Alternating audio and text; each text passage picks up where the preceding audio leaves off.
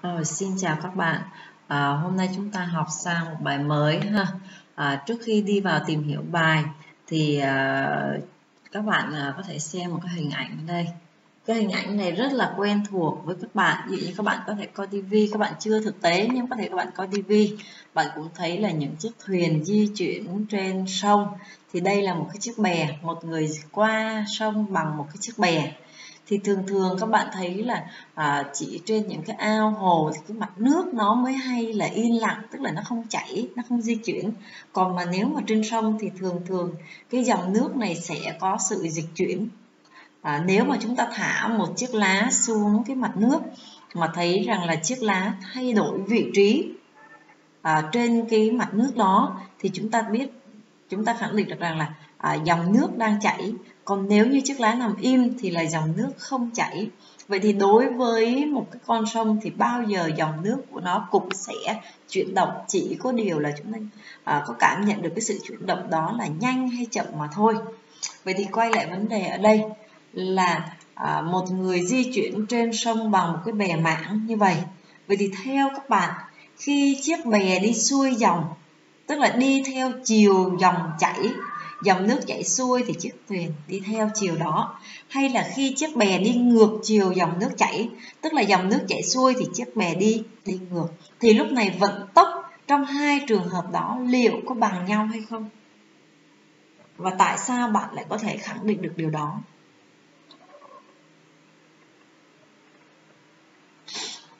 À, thực tế chứng minh cho mình thấy ha nếu như chúng ta đi xuôi dòng chúng ta sẽ cảm thấy rằng là à, và trong trường hợp này cô đặt vấn đề cho các bạn là cái lực chèo của cái người này trong hai trường hợp là như nhau.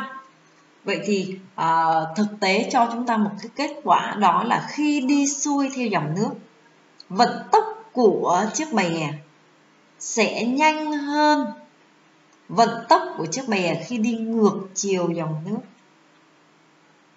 Và có bao giờ các bạn đi qua sông tức là chúng ta đi ngang luôn á chúng ta đi ngang luôn có bao giờ các bạn đi chưa? Ờ. ở thành phố thì thường là không có ha. Ở những cái vùng nông thôn thì có, những con sông thì muốn đi từ nơi này sang nơi kia phải đi qua sông và hai cái bến coi như là đối diện nhau ở hai cái bờ. Thì các bạn để ý rằng là cái thuyền khi đi xuôi người ta sẽ không hướng cái mũi lái vuông góc với cái bờ bên kia, không hướng mũi lái là từ bên này hướng sang bên kia, mà người ta sẽ hướng cái mũi lái chích hướng về phía ngược của chiều chảy dòng nước tức là dòng nước mà chảy từ trái sang phải thì cái mũi bè của chúng ta sẽ phải check về phía bên bên trái. Thì sau một lúc chúng ta dịch chuyển thì cái thuyền của chúng ta mới về đến cái bến phía bên kia. Còn nếu như chúng ta mà để vuông góc như vậy thì chiếc thuyền sẽ cập bến tại một cái vị trí ở phía dưới phía bên phải của cái um, cái cái bến mà chúng ta muốn qua. Vậy thì tại sao lại có được điều đó? Chúng ta đi tìm hiểu vào bài số 6 chúng ta tìm hiểu về tính tương đối của chuyển động công thức tổng vận tốc. Vậy thì à, bạn hiểu thế nào là tương đối? Bạn hiểu thế nào là tương đối? Yên tôi bảo là à, cái vấn đề này chỉ mang tính tương đối thôi. Nghĩa là gì? Đúng rồi ha. Tương đối ở đây có nghĩa là không phải lúc nào nó cũng đúng. Chỉ xét theo tính chủ quan của mỗi người, tức là trong trường hợp này, người ta nhìn thấy nó là đúng. Nhưng sang trường hợp khác để nhìn nhận, đứng trên khía cạnh khác để nhìn nhận vấn đề, thì chúng ta thấy rằng nó chưa hẳn là đúng. Thì chúng ta nói rằng những cái vấn đề đó có tính tương đối. Vậy thì đối với chuyện đọc, yếu tố nào sẽ mang tính tương đối? Thì người ta đi vào cái mục thứ nhất tính tương đối của chuyển động và người ta thấy có hai cái phần mà nó mang tính tương đối. Phần thứ nhất là quỹ đạo. Các bạn có nhớ quỹ đạo là gì không?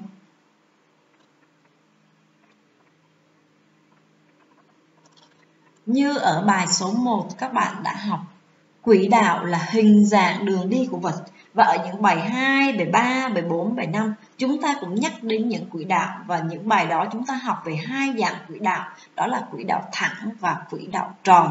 Như vậy thì những điểm vật đi qua sẽ nối lại với nhau vẽ thành một cái hình dạng nào đó có thể là đường thẳng đường tròn đường cong bất kỳ. Thì chúng ta gọi đó là quỹ đạo.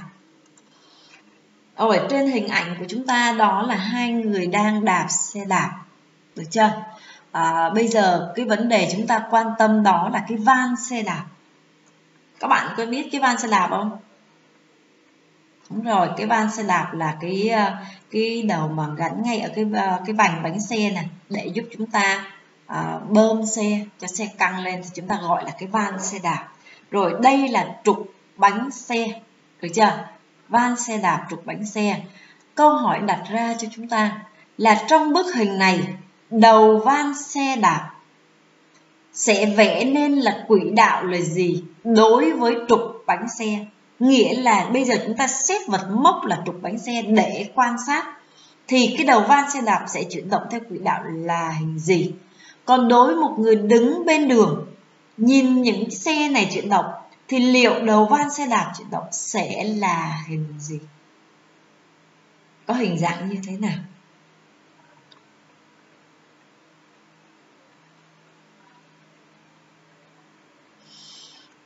Rồi chúng ta thấy rằng đối với quỹ trục bánh xe, coi như đây là vật mốc thì khi chiếc xe chuyển động, cái đầu van xe đạp này sẽ quay quanh trục bánh xe và cắt bánh xe một cái đoạn đúng bằng cái bán kính của cái bánh xe ở đây.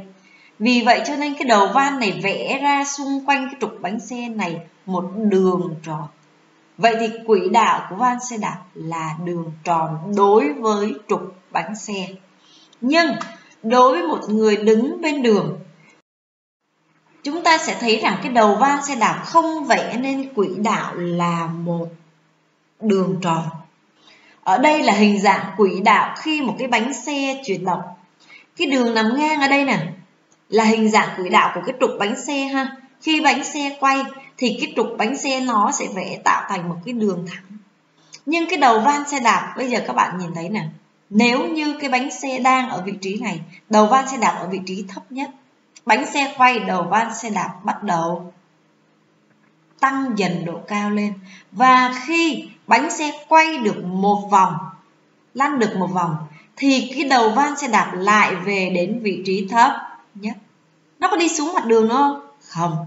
Nó không đi xuống mặt đường để tạo thành quỹ đạo là một đường tròn mà từ đó nó khi bánh xe tiếp tục lăn vòng thứ hai thì nó lại vẽ nên một cái đoạn giống như khi chúng nó lăn được một một vòng. Vì vậy, người đứng bên đường sẽ nhìn thấy hình dạng quỹ đạo ở đây là một đường cong mà thôi, chứ không phải là đường tròn. Vậy thì từ đây chúng ta kết luận, trong hai hệ quy chiếu, hệ quy chiếu gắn với vật mốc là trục bánh xe, thì đầu van xe đạp có quỹ đạo là đường tròn nhưng nếu như hệ quy chiếu gắn với một người đứng bên đường, thì quỹ đạo của đầu van xe đạp lại là một đường cong.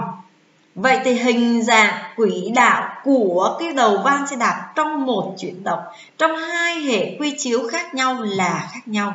Vì vậy người ta kết luận cho mình là quỹ đạo chỉ mang tính tương đối mà thôi.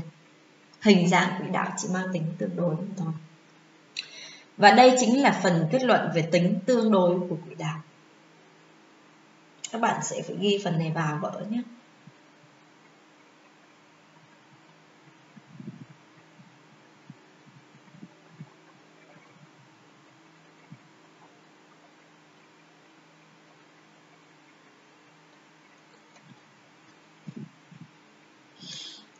Rồi, đó là chúng ta đã xét về tính tương đối của quỹ đạo ta xét trường hợp thứ hai mà người ta thấy rằng đại lượng thứ hai chúng ta đi xét xem liệu vận tốc có tính tương đối hay không.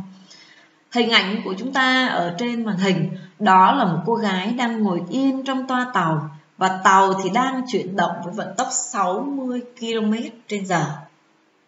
Vậy thì bây giờ, vấn đề đặt ra là cô xét trường hợp thứ nhất trong hệ quy chiếu gắn với toa tàu hay là một người đang ngồi yên cạnh cô gái một hành khách ngồi yên cạnh cô gái ở trong toa tàu này thì liệu vận tốc của cô gái sẽ là bao nhiêu? Và trong trường hợp nếu như có một người đang đứng bên đường quan sát cái tàu này chuyển động thì vận tốc của cô gái ngồi trong tòa, toa tàu đối với người đứng bên đường sẽ là bao nhiêu? Các bạn thử suy nghĩ xem.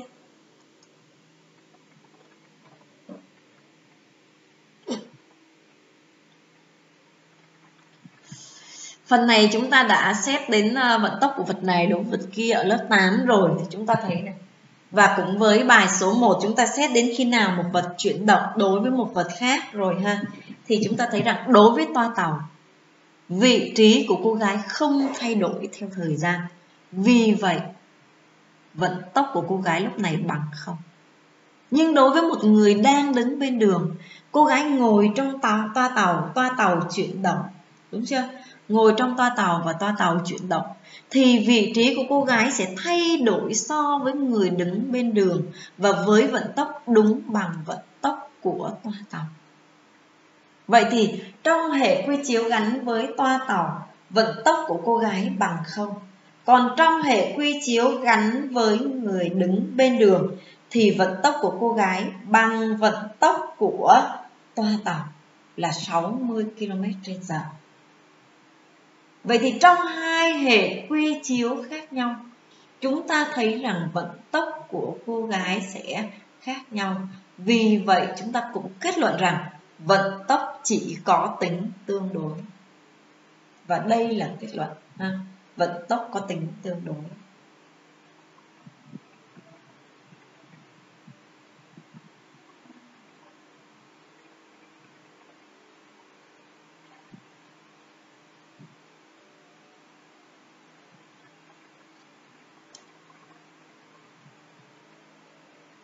vận tốc chỉ có tính tương đối. Như vậy chúng ta thấy rằng là cái chuyển động của một vật thì chỉ mang tính tương đối thôi. Giống như là các bạn nhìn lên bầu trời ban ngày đi, các bạn sẽ thấy cái gì chuyển động? Vậy thì ví dụ như chúng ta nhìn quan sát lên bầu trời giữa trái đất và mặt trời thì cái nào chuyển động? Chúng ta sẽ thấy mặt trời chuyển động ha còn chúng ta ở trên trái đất thì chúng ta sẽ thấy rằng chúng ta đang đứng yên. Nhưng nếu như một người một cái vệ tinh nhân tạo ở ngoài à, trái đất mà quan sát thì sẽ thấy là mặt trời đứng yên và trái đất chuyển động. Trước giờ chúng ta luôn luôn nói rằng là ở ngoài vũ trụ mặt trời là đứng yên còn trái đất thì chuyển động quanh mặt trời. Rồi mặt trăng chuyển động quanh trái đất nhưng chúng ta nhìn ở trái đất, chúng ta quan sát những cái vật thể đó, thì sẽ luôn luôn thấy những vật thể đó là chuyển chuyển động. Vậy thì những cái chuyển động này chỉ mang tính tương đối, bởi vì trong những hệ quy chiếu khác nhau, thì tính chất chuyển động cũng sẽ là khác nhau. Đúng chưa? Rồi, ở đây chúng ta thấy nè à, trường hợp thứ nhất chúng ta xét hệ quy chiếu đối với vật mốc là toa tàu và toa tàu chuyển động. Trường hợp thứ hai xét với hệ quy chiếu là một người đang đứng yên tức là vật mốc đứng yên. Vậy thì từ đây người ta cho mình một cái khái niệm về à, hệ quy chiếu gắn với vật chuyển động và hệ quy chiếu gắn với vật đứng yên. Chúng ta tìm hiểu sang mục 2 La Mã. Công thức cộng vận tốc. Và cũng từ công thức này chúng ta sẽ giải thích được à, à, vận tốc của vật khi xuôi dòng hay ngược dòng giống như cái phần à, đầu chúng ta đã đặt vấn đề thì chúng ta tìm hiểu về hệ quy chiếu đứng yên hệ quy chiếu chuyển động Ôi các bạn nào nhớ à, hệ quy chiếu sẽ bao gồm những yếu tố nào không?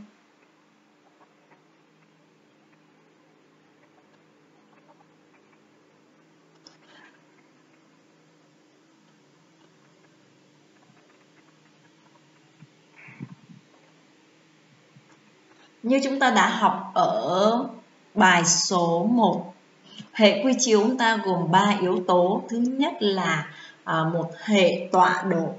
Một hệ trục tọa độ của chúng ta thì tùy thuộc vào từng dạng bài mà chúng ta có thể chọn hệ trục OXY vuông góc và cũng có thể chúng ta chọn hệ trục OX vuông góc nếu như vật chuyển động trên một đường thẳng à, gắn với một vật mốc. Tức là chúng ta cần thêm yếu tố thứ hai là một vật làm mốc thì vật làm mốc này phải gắn liền với cái uh, hệ tọa độ. Và thứ ba là một mốc thời gian. Vậy bây giờ chúng ta sẽ xét hệ quy chiếu đứng yên. Vậy thì chúng ta hiểu một cách đơn giản thôi. Hệ quy chiếu đứng yên là hệ quy chiếu gắn với vật mốc đứng yên. Còn hệ quy chiếu chuyển động là hệ quy chiếu gắn với vật mốc chuyển động. Được chưa? Hệ quy chiếu gắn với vật mốc đứng yên là hệ quy chiếu đứng yên. Hệ quy chiếu gắn với vật mốc chuyển động là hệ quy chiếu chuyển động.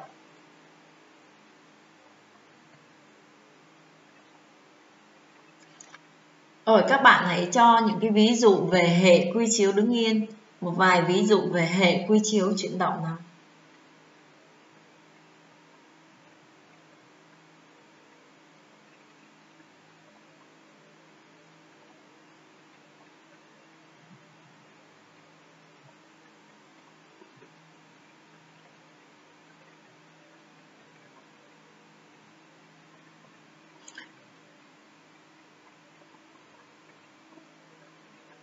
Ở xung quanh chúng ta rất nhiều trường hợp ví dụ như là hệ quy chiếu gắn với mặt đường thì chúng ta gọi đó là hệ quy chiếu đứng yên.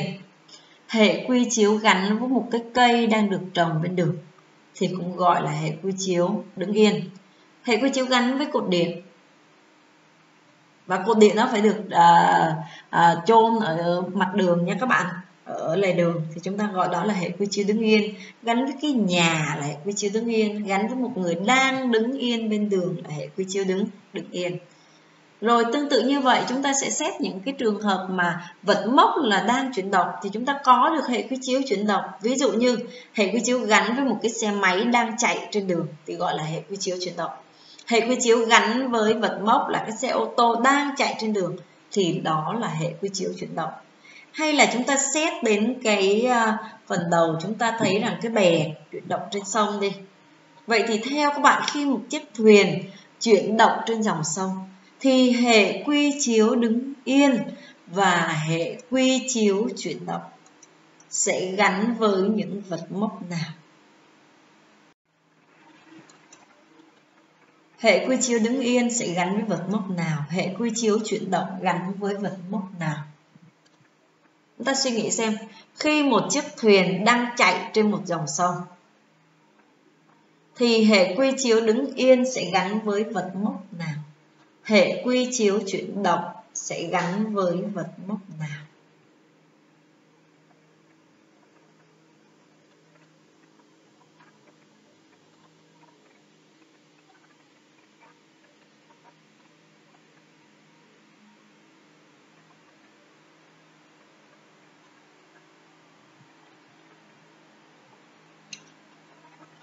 Rồi chúng ta xét ha, một chiếc thuyền chuyển động trên dòng sông. Thì khi chiếc thuyền chuyển động chúng ta sẽ nói rằng cái thuyền này sẽ đóng vai trò là vật chuyển động. Thì khi chuyển động trên một dòng sông chúng ta có nước chuyển động. Còn cái nào không chuyển động? Cái bờ sông không chuyển động. Bờ sông không chuyển động.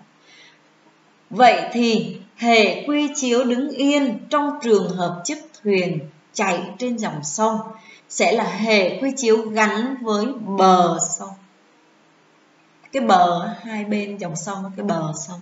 Thì chúng ta gọi đó là hệ quy chiếu đứng yên còn hệ quy chiếu gắn với dòng nước hay là hệ quy chiếu gắn với một cái vật nào đó được thả trôi trên dòng nước thì chúng ta gọi đó là hệ quy chiếu chuyển động. Chúng ta gọi đó là hệ quy chiếu chuyển động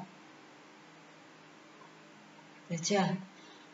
Và khi chúng ta nói đến vận tốc của một cái vật chuyển động nào đó, ví dụ chúng ta bảo rằng vận tốc của xe máy là bằng 50 km h vận tốc của xe ô tô là 70 km h hay là vận tốc của một chiếc thuyền trên sông là 30 km h thì các bạn hãy nhớ rằng đó là những vận tốc của vật chuyển động đối với hệ quy chiếu đứng yên bởi vì trong hệ quy chiếu tương nhiên chúng ta mới xác định được được chính xác là quãng đường vật dịch chuyển thực tế là bao bao nhiêu trong một cái khoảng thời gian đó để đi tìm được vận tốc. Các bạn nhớ những cái đó để khi chúng ta làm bài, chúng ta biết đề bài cho chúng ta vận tốc, thì đó là vận tốc nào nha?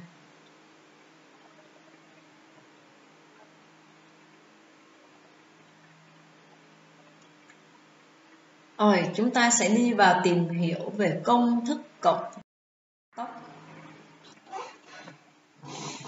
Trước khi đi tìm hiểu xem công thức cộng vận tốc sẽ được viết như thế nào, thì chúng ta sẽ tiến hành gọi, ha?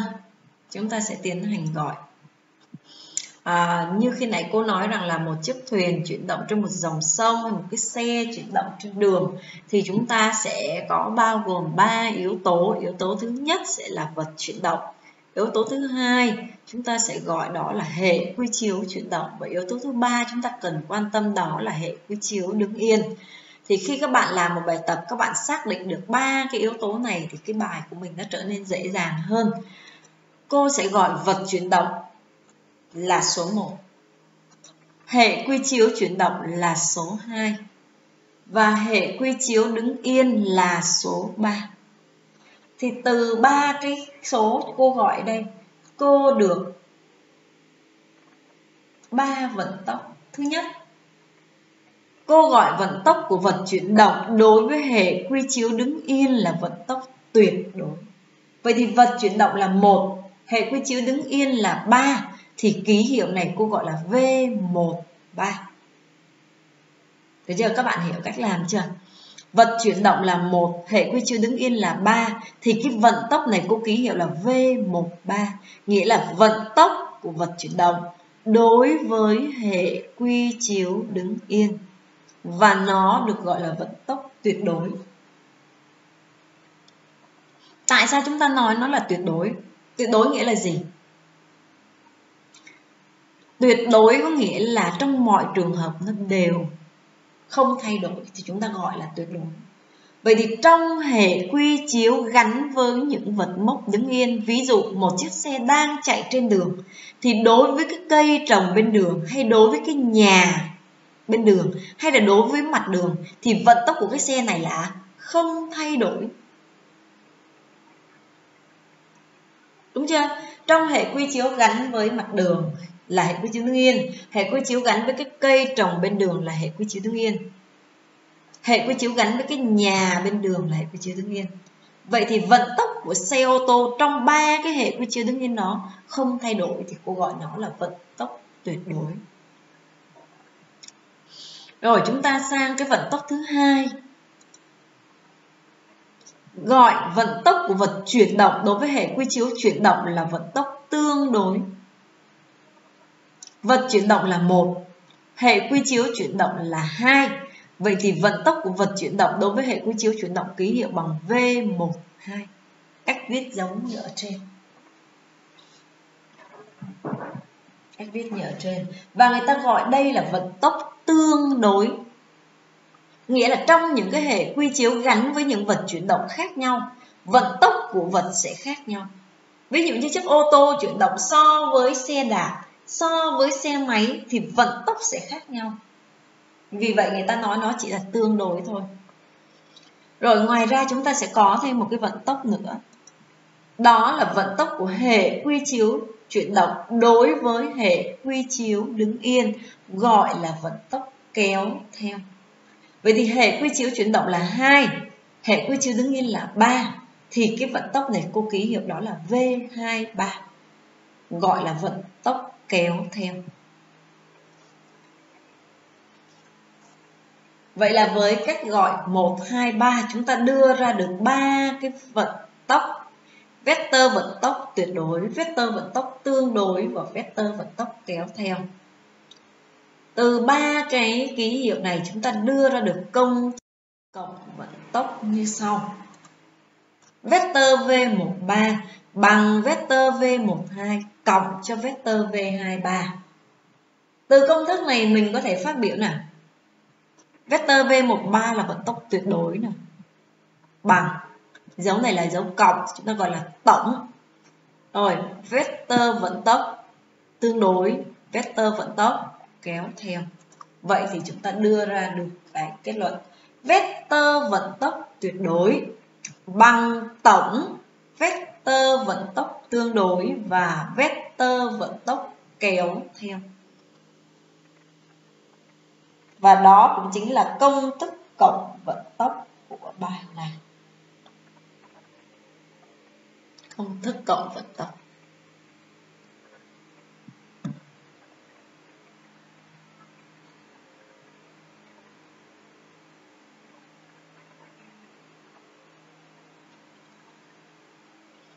Rồi những cái V13, V12, 23 là gì thì phần trước chúng ta đã đã đã nói rồi ha.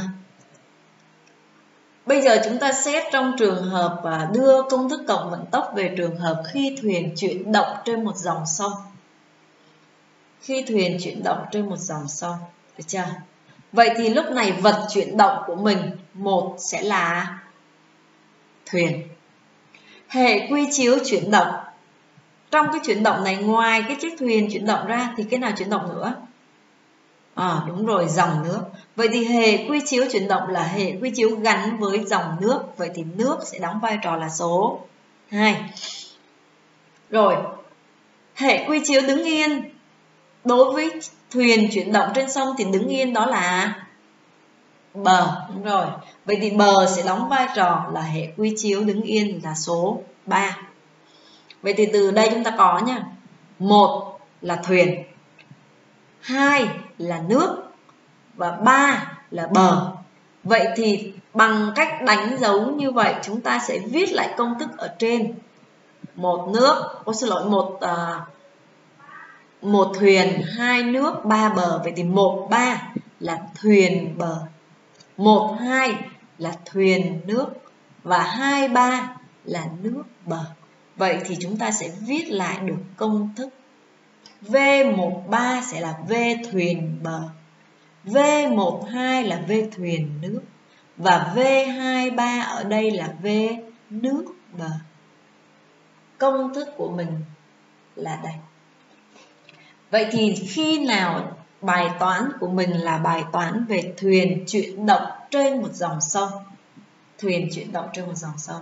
Thì công thức chúng ta có thể không cần ghi công thức ở tổng quát ở trên, chúng ta ghi bằng công thức thuyền, nước nước bờ, vân vân ở đây. Để chúng ta làm bài cho nó dễ. Rồi, đây là những phần mà các bạn sẽ ghi về trong công thức cộng vận tốc ha. Và đây là tổng quát trong mọi trường hợp. Nó chuyển động theo chiều nào thì chúng ta cũng có được công thức ở đây và chúng ta gọi đây là công thức vector à, còn nếu khi chúng ta làm bài từ công thức vector chúng ta sẽ đưa ra cái công thức về độ lớn. Chúng ta đưa ra cái công thức về độ lớn.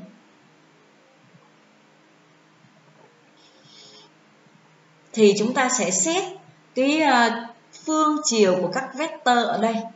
Tức là chúng ta làm như vậy rồi chúng ta sẽ xét những cái vận tốc người ta cho mình. Rồi mình chọn một cái chiều dương. Chọn một cái chiều dương là một cái chiều nào đó tùy theo các bạn các bạn có thể chọn chiều dương là chiều à, V12 hay chiều dương là chiều V23 gì đó thì tùy. Thì khi bạn chiếu biểu thức vector lên lên chiều dương, thì chúng ta sẽ nhớ rằng là những cái vận tốc nào, vector vận tốc nào mà cùng với chiều dương, cùng chiều với chiều dương thì chúng ta sẽ cho nó mang giá trị là dương. Còn nếu như những cái vận tốc nào mà ngược với chiều dương thì chúng ta cho cái vận tốc đó sẽ mang giá trị là âm.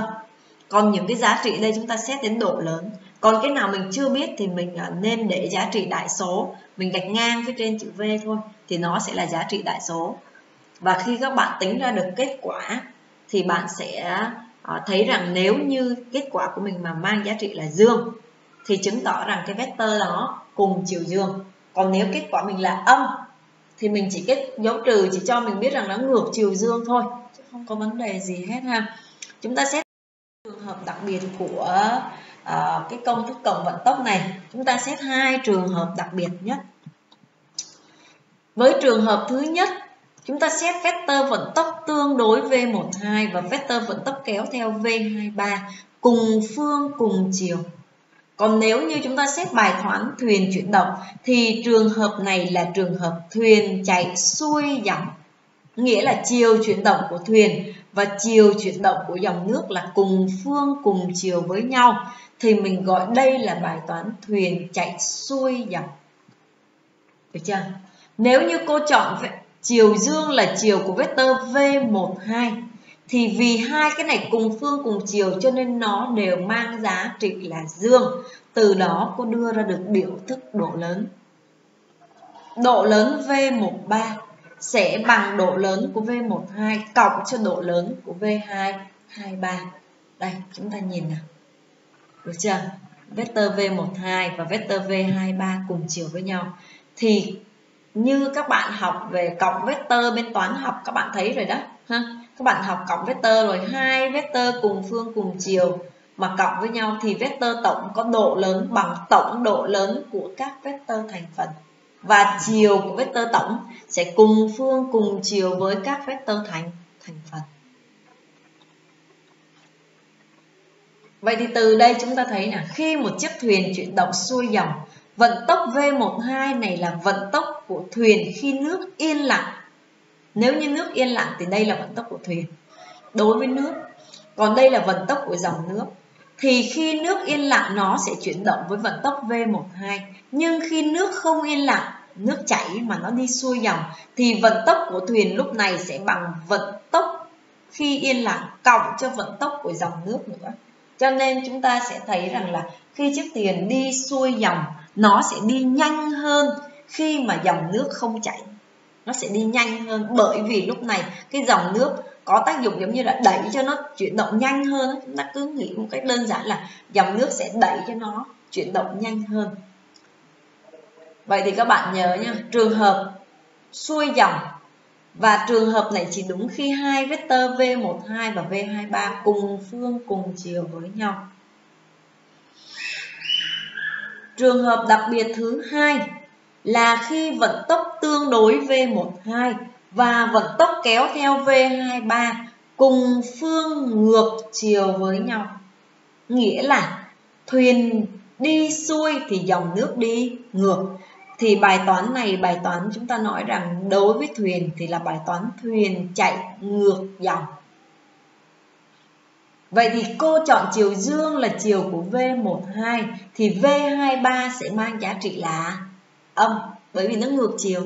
Còn nếu cô chọn chiều dương là của V23 thì V12 sẽ mang giá trị là âm vì ngược chiều. Do đó công thức độ lớn của cô đưa ra đó là cô sử dụng trị tuyệt đối. Nếu như chúng ta đi tìm độ lớn V13, chúng ta sẽ sử dụng ở đây là dấu trị tuyệt đối để cho độ lớn thì lớn hơn thôi. Còn mà xét về phương về chiều thì học bên toán học các bạn cũng đã thấy rồi.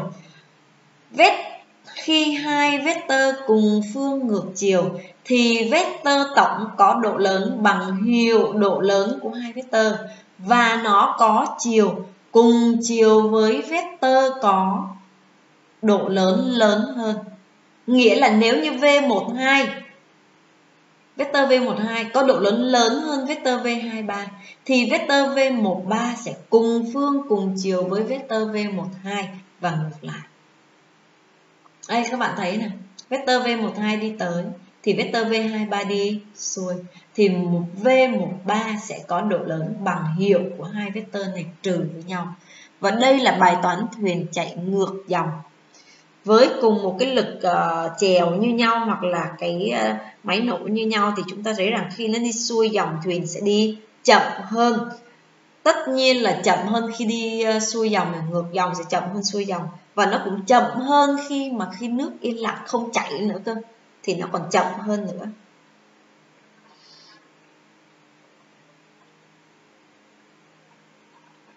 cho đó các bạn thấy là ví dụ như một cái dòng sông mà bình thường á à, một người có thể bơi trên đó bơi từ là à, bơi ngược chiều được ha?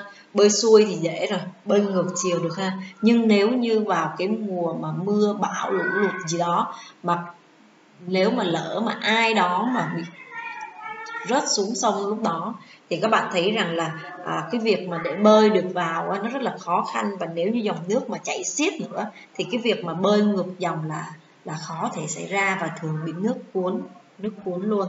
À, nếu như các bạn coi chương trình những điều kỳ thú các bạn sẽ thấy rằng là à, có một cái trò chơi mạo hiểm đó là vượt thác nghĩa là người ta sử dụng một cái à, cái bể cái cái cái đó gọi là cái gì này? cái cái à, cái thuyền của mình mà bằng cao su á xong rồi người ta ngồi trên nó người ta chèo ngược ngược ngược chiều dòng nước và ở ngay gần đầu thác á. nếu như những người đó mà chèo với lực mà không đủ mạnh vận tốc không đủ lớn thì sẽ bị dòng nước đẩy rớt xuống dưới chiếc thác luôn ha, đó là những cái trường hợp mà chúng ta xét. À, như vậy thì với bài này à, kết thúc tại đây. À, các bạn à, phải hiểu được tại sao à, với bài này thì chúng ta sẽ hiểu được tại sao chúng ta nói chuyển động có tính tương đối. À, chuyển động có tính tương đối bởi vì xét trạng thái chuyển động của một vật trong các hệ quy chiếu khác nhau thì khác nhau cho nên người ta nói rằng là chuyển động chỉ có tính tương đối. Cái thứ hai đó là khi chúng ta làm một cái bài toán về công thức cộng vận tốc thì theo cô để làm cho đơn giản và đưa ra được công thức thì bạn phải xác định được à, đâu là vật chuyển động. Ký hiệu bằng số 1 chúng ta có thể làm ngoài nháp ha. Đâu là vật chuyển động ký hiệu bằng số 1 đâu là hệ quy chiếu chuyển động ký hiệu bằng số 2 và đâu là hệ quy chiếu đứng yên ký hiệu bằng số 3 sau đó các bạn sẽ xét trong từng cái bài à, cái V12 đề bài cho V12 V3 hay V23 và yêu cầu tìm cái V nào thì mình viết công thức tổng quát ra. Chúng ta cũng chọn một cái chiều dương rồi chiếu các biểu thức lên. Chúng ta sẽ ra được cái à, công thức về độ lớn thay số chúng ta sẽ làm. Rồi bài kết thúc ở đây. Xin chào các bạn.